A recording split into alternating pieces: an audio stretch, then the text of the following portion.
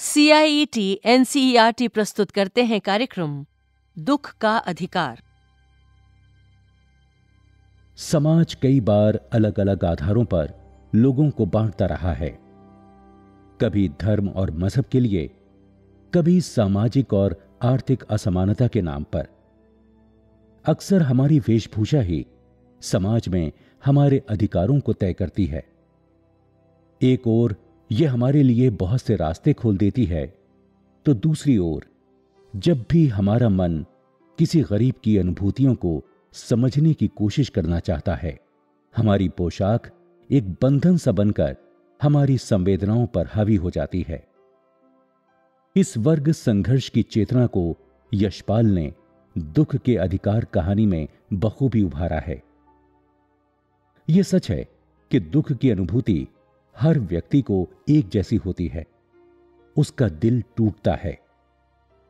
मगर यह कैसी मानवीय त्रास्ती है कि निर्धन को दुख मनाने का भी अधिकार नहीं होता और ना ही उसके पास इसका समय होता है, क्योंकि उसके जीवन का मूल प्रश्न रोटी से जुड़ा रहता है, जिसके सामने संवेदनाओं या भावनाओं की शायद कोई जगह नहीं होती। इस कहानी की शुरुआत कुछ इस तरह से होती है।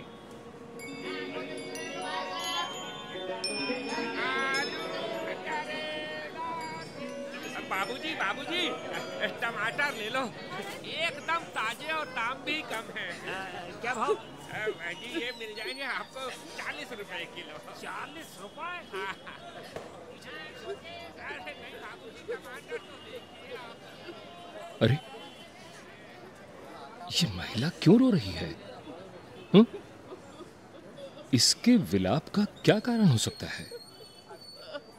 खरबूजे का टोकरा लिए बैठी है और अपना मुँह घुटनों में छिपाए रोए जा रही है? मन कर रहा है इसके पास जाकर पूछूँ, पर लोग क्या कहेंगे? मुझ पर फप्तियाँ कसेंगे। कहाँ ये कीमती पोशाक पहने मेरी छवि? और कहाँ ये मलिन कपड़ों वाली स्त्री? हाँ। चाहकर भी मैं उसका दुख बांटने में असमर्थ हो रहा हूँ। ये हमारे समाज की कैसी विडंबना है? अरे बाबूजी जाइए अपनी राह। सोच क्या रहे हैं? ये तो बड़ी बेशरम है। और क्या? अभी कल ही इसके जवान बेटे की मौत हुई है। और आज ये बाज़ार चली आई सौदा बेचने। हाँ, सही कह रहे हो। अरे मियाँ लाहौल विला कुवत। क्या जमाना आ गया है। खुदा खैर करे। कल कलयुग है घोर कल कलयुग इन जैसे लोगों के लिए रोटी कमाना ही जैसे सब कुछ है। बस रोटी मिल जाए किसी भी तरह। ना माँ बेटे का रिश्ता ना कोई धर्म करम। तभी तो अगले ही दिन आ गई माल बेचने। हाँ भैया। अब इसे कौन बताए कि इसकी घर में सूतक लगा है? ऐसे में इसके खरबूजे खाने से किसी का धर्म कैसे बचा रह सकेगा? हे भगवान, किस कदर कोस रहे हैं सब इस बेचारी को? क्या सब संवेदना शून्य हो गए हैं? इसने अपना जिगर का टुकड़ा खोया है। क्या इसे क्या इसे दुख मनाने का भी अधिकार नहीं है? जरा चलकर आसपास पूछता हूँ आखिर इसके बेटे को हुआ क्या था? हम्म, हाँ इन महाशय से पूछता हूँ। जरा सुनिए श्रीमान। जी बाबूजी। आप बताइए कि इस महिला ने अपना बेटा कैसे खोया? लगता है आप यहाँ नए नए आए हैं। हाँ? ये बुढ़िया मंडी में हर रोज आती है। इसका लड़का शहर के पास डेढ़ बीघा ज़मीन पर खेतों में सब्ज़ी बोने का काम करता था। इसी से इसके परिवार का गुजारा चलता था।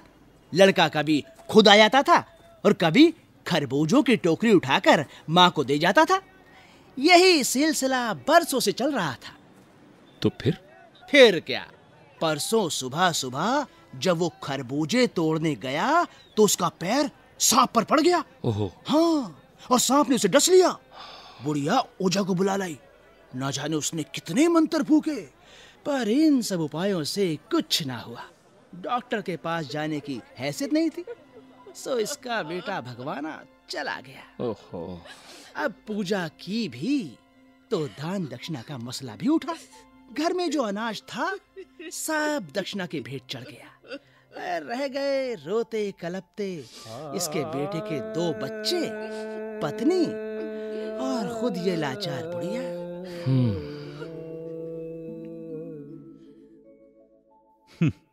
भला हो समाज के पाखंडी पंडितों ओझाओं का। चाहे कुछ भी हो, अपनी झोली भरना नहीं भूलते। किसे परवाह है उस दीन दुखियारी माँ की मनोव्यथा की, उन भोले मासूम बच्चों के रुदन की और उस विधवा की जो कई दिनों से बुखार में तप रही थी। कौन लेगा इन सब की खबर? इस प्रश्न पर समाज मौन रह जाता है। इनका रुदन गूंजता रह जाता है अनंत दिशाओं में।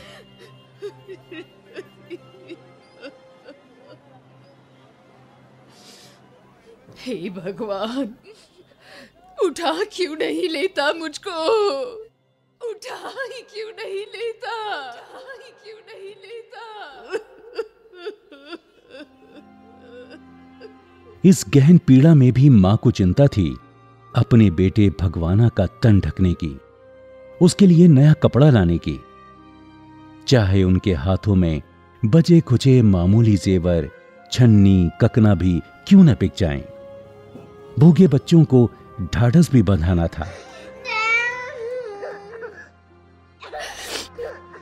लो बच्चों, खरबूजा खा लो। चुप हो जाओ।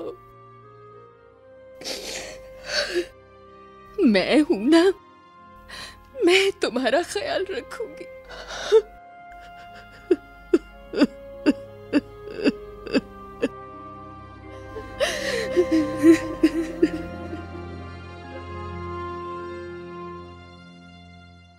और फिर दुस्साहसी बुढ़िया अपने बेटे के लाए हुए खरबूजे समेटकर बाज़ार में बेचने चलती थी। किसी मानवीय संवेदना की शायद वो हकदार नहीं थी। दुनिया ने उसे निर्मोही और पत्थर दिल करार दिया था। फिर भी वो मुस्तैद थी बेटे को अंतिम विदा देने के लिए। पर इससे भी पहले उसके सामने बड़ा क्रूर प्रश्न था, रोटी का।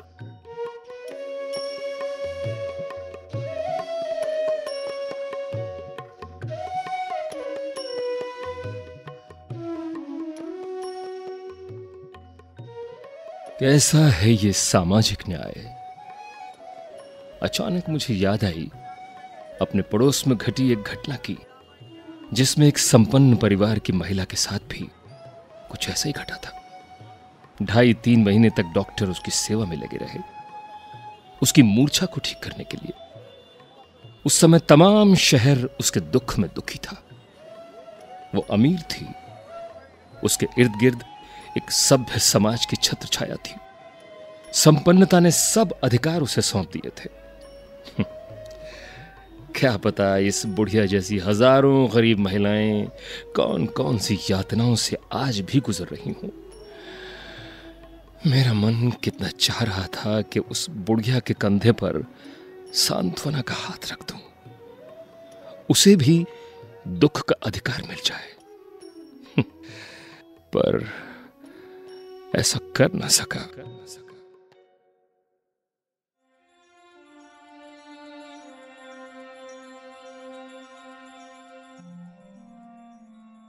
दुख का अधिकार। अभी आप सुन रहे थे ये कार्यक्रम।